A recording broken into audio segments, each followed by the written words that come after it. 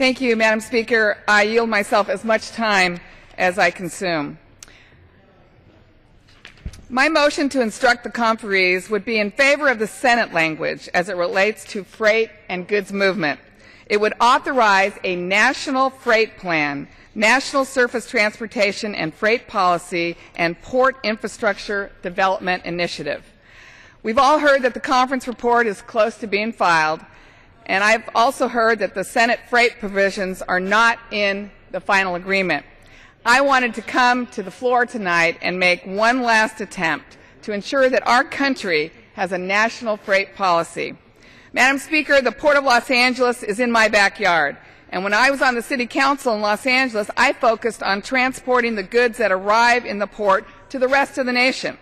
And when I came to Congress almost a year ago, I was surprised that there was not enough attention on our ports. And I was surprised that we didn't even have a ports caucus. So I co-founded the bipartisan co- uh, port caucus with my good friend uh, Ted Poe from Texas to educate uh, the rest of our members on the importance of our ports and goods movement to our nation's economy. So first, for those who don't know what goods movement is, I'd like to talk about why it's crucial for our nation. We're a consumer economy. Whether it is a mom and pop store on the corner or a large retailer like Target, we don't think twice when we go to these stores to purchase groceries, toys for our children, or clothing. When we go to the store, we expect that the milk and the Barbie dolls are on the shelf. Simply Goods Movement is transporting products whether they are made in America or imported through our nation's ports, to retail stores. The goods that are transported throughout the country uh, are transported by freight rail, trucks, and in some cases, waterways. The efficient transportation of these goods is crucial for our economy. We need to invest in all modes of transportation for freight, including roads, rail, grade crossings, to reduce bottlenecks. But, Madam Speaker, this nation does not focus enough resources on freight policy and goods movement. We don't have a national freight plan to guide us. According to Robert Puentes at the Brookings Institute, the nation has no comprehensive strategy or plan for the maintenance and development of transportation assets related to international freight movement. The country's freight transportation industry is highly decentralized, with private operators owning almost all of the trucks and rails, and the public sector owning the roads, airports, and waterway rights.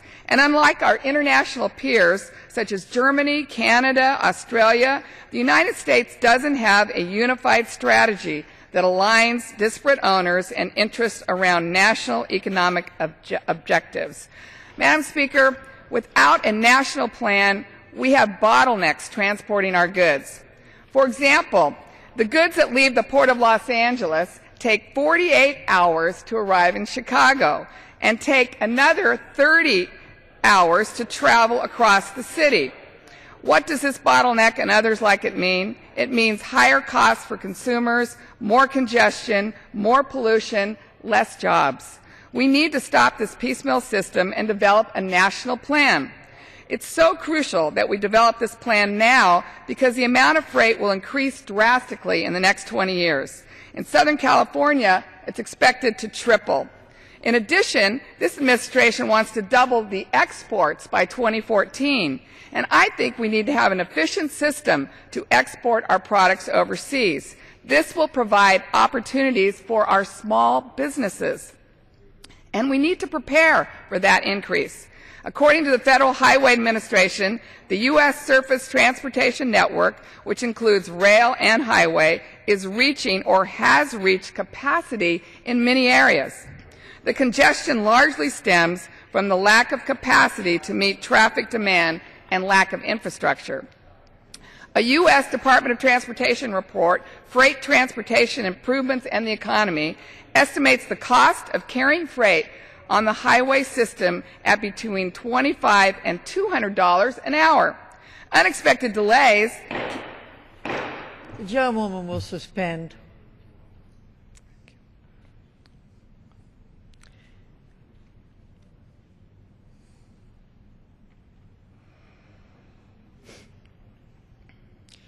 Gentlewoman may proceed. Thank you, Madam Speaker. Unexpected delays can increase the cost of transporting goods by 50 to 250 percent. Because the supply chain is a network of retailers, distributors, transporters, storage facilities, and suppliers that participate in the sale, delivery, and production of a particular product, congestion re- resulting in unreliable trip times and missed deliveries can have major business implications, which adds costs at every link of the supply chain.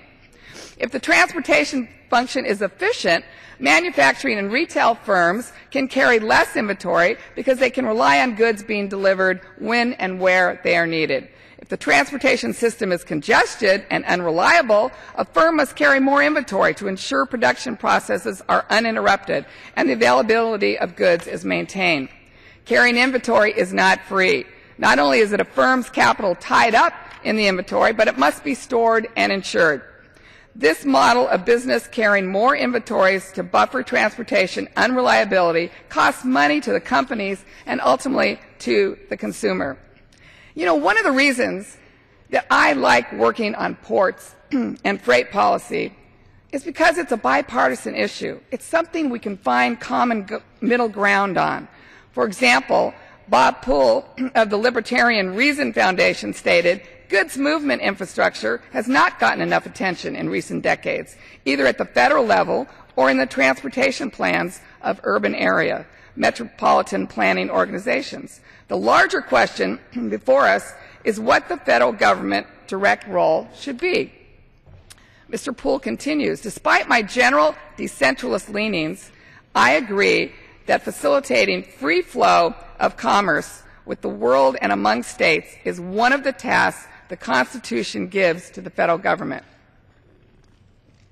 So, he says, I'm favorable to, favorable to the idea of the federal government making strategic investments in critical corridors and key nodes in the goods movement system. And obviously, this needs to involve all the modes that make economic sense for shippers to move cargo. What, what organizations support a national freight plan? In addition to many transportation and port organizations, a national freight plan is supported by the United States Chamber of Commerce and the National Retail Federation. The Chamber of Commerce recently sent a letter this month to the conference committee stating the reliable and timely movement of goods is critical to U.S. economic health. Unfortunately, the condition and capacity of the transportation system has failed to keep up with the growth in trade volume and freight movement. Congestion caused by bottlenecks threaten to choke future economic growth.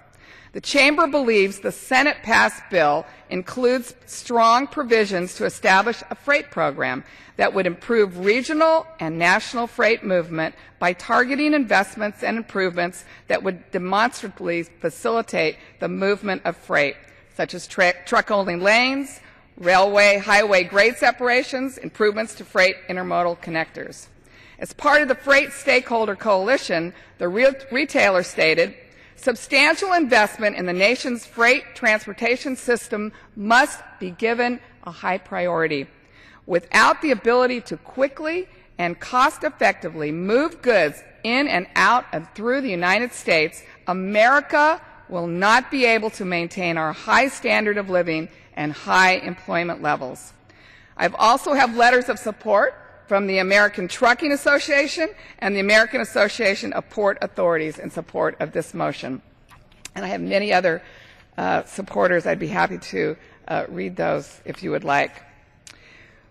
We also know that uh, congestion, especially truck congestion on our highways, causes air pollution. In my part of the country, South Coast Air Quality Management District said that diesel emissions are responsible for 71% of the major pollutants in the region. This means more asthma in our children and more cancer. Eliminating congestion will help improve air quality and our na- nation's health. Also, America's farmers would benefit from a national freight policy. Uh, not only do our America's farmers provide food in our grocery stores and on our tables, but they feed the world as well. America is the world's breadbasket. The U.S. is the world's top wheat exporter, and all of that grain needs to be transported from America's heartland to our ports. It is crucial that we have the infrastructure to transport our goods from California or the Midwest to export them. In conclusion, last week, the Ports Caucus met with the Transportation Secretary LaHood. He said the department was beginning to plan a national freight policy, but that Congress needed to prioritize goods movement. This is our chance. The last transportation bill was passed seven years ago. We cannot wait another seven years before we make a national commitment and a priority for a freight policy in this country. I urge my colleagues to vote for my motion, and I reserve the balance of my time. The